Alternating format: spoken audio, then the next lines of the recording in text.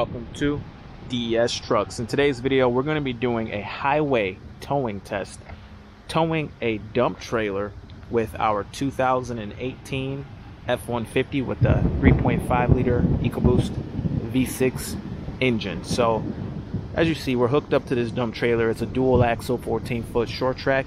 It is rated for 14,000 pounds gross vehicle weight rating on the trailer, but it's pretty empty. It's got a couple things in it. Let's go ahead and take a look and see what we got in here. Um, just some props, I would say, from the last job that we did. Wheelbarrow still in there. There's a cone and a couple shovels. So, eh, maybe an extra 80 pounds. I don't know. But uh, we've got our uh, trailer hooked up here. Now, in a way, our truck is maxed out and that would be with tongue weight and that's one of the achilles heels of the f-150 or towing with most half tons. I can't say for sure if chevy or uh, dodge have the limitation of 500 pounds on the tongue weight without weight distribution. But i will say that it is hard to find out. Like if you look online at the maximum tongue weight for an f-150 ford's very open and they tell you very clearly if you just look into it and read the manual. I don't have a Dodge or a, a, GMC, so it's hard for me to even look in a manual, but I would be impressed if they did have over 500 pounds of tongue weight from the manufacturer, because that is a limitation from Ford, only having 500 pounds. And it might be all half tons.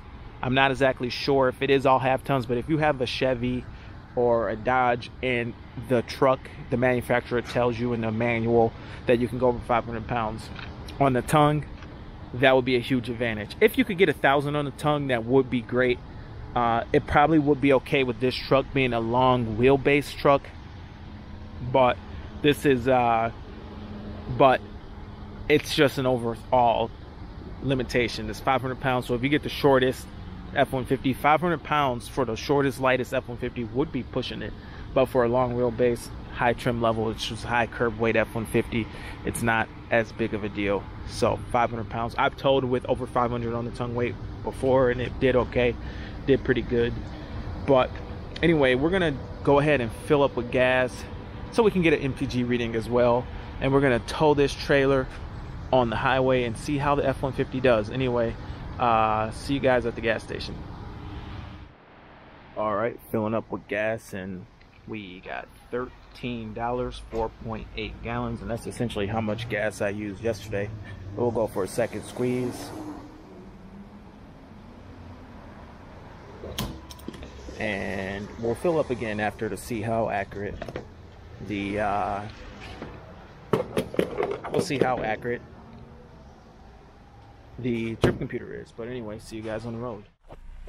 But before we hit the road, let's go ahead and reset our trip computer so we can compare the MPG to what we calculate longhand. So anyway, let's get this show going.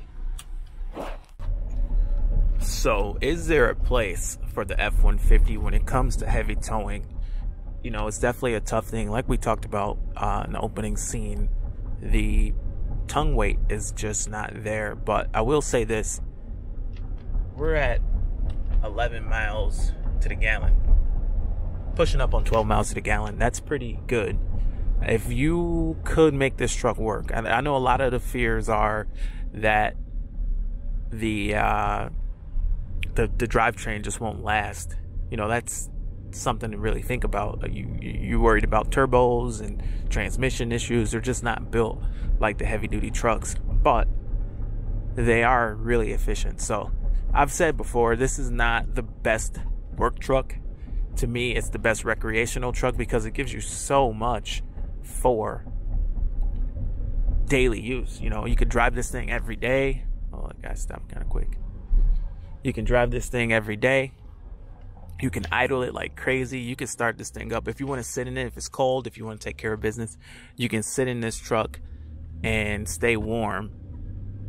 Versus these diesels nowadays with all their emissions, they they really don't recommend extended idling time, which is not cool. You know, that's something that you would want to do with your truck if you needed to is idle for extended periods of time. So, you know, that's one of those things, you know, Now the gas, the gas heavy duty trucks, you know, those trucks are great, but they use so much fuel. Trust me, I know I have one, and I'm not going to really see 11 on the 11 miles to gallon empty. So that's something really to think about. I've got a F250, a 2019 F250 with uh, 430 gears, but uh, we're getting down on the freeway here. We're in tow haul, two wheel drive. It's a little bit wet, but we're to keep it in two wheel.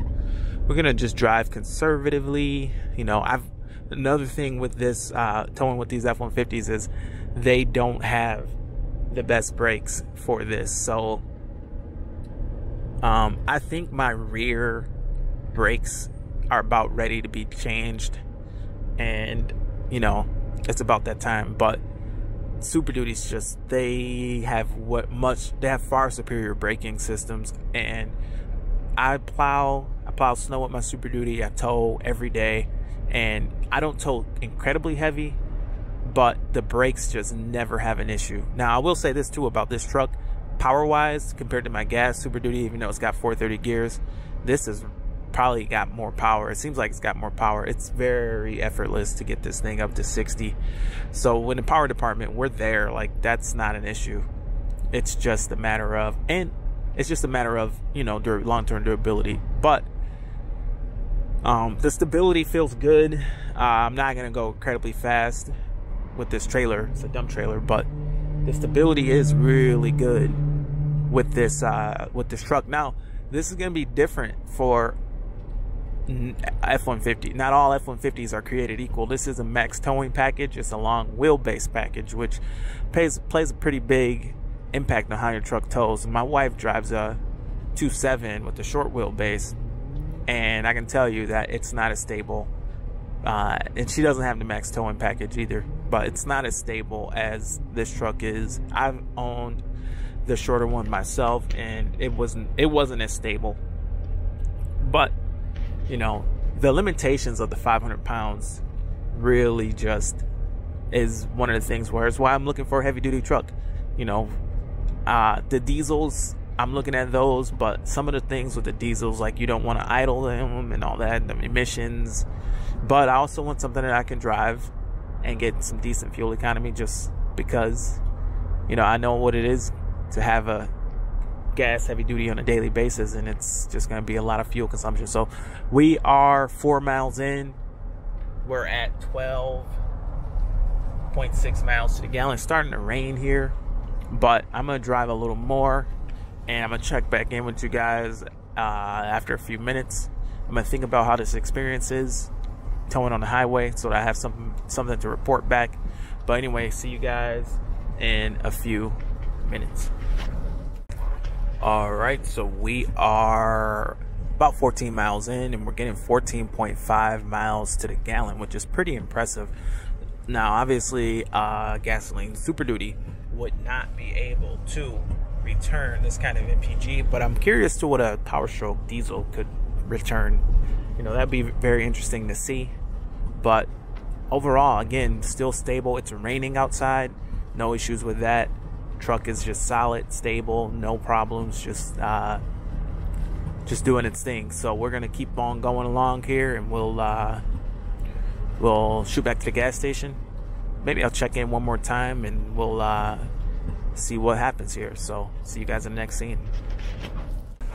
All right, so it's really coming down now, but I want to show you guys the uh, transmission and how the 10-speed is handling uh, everything. And right, like I said, right now we're going a little slower because of the rain, but check it out. But yeah, we'll uh, check back here at the gas station. I'm gonna focus on driving now that it's raining, but see you guys at the gas station. All right, and back at the pump, and according to the computer, we got 14.6 miles to the gallon and a total of 33 miles driven. I actually did put it in four wheel drive auto because the freeway got a little crazy, so a, a good maybe four or five miles of this is city driving, but we'll go ahead and fill it up and see what we got. All right, and there's the first click, waiting about 30 seconds, and second click,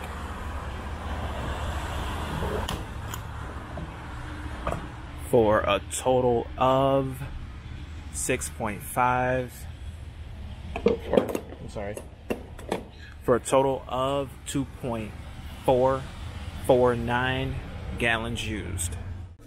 All right, in doing the calculation by hand, we burned 2.449 gallons and drove 33 miles for for a total of 13.47 miles to the gallon. So we were off by just over 1 mpg because the computer told us 14.6. So which one to believe, I don't know. Either one could be flawed. Um, the computer, if it doesn't know exactly how many miles we're driven, I don't know. It's tough to say, but they're both within reason, within one uh, gallon, one mpg. So I think that's close enough. Uh, another thing is I don't know if it's as accurate when it's towing, but um, either way, good test. Had fun doing it. Thank you guys for watching the video. Hope to see you in the next one. Have a great day. Over and out. DS Trucks. Nothing but the best.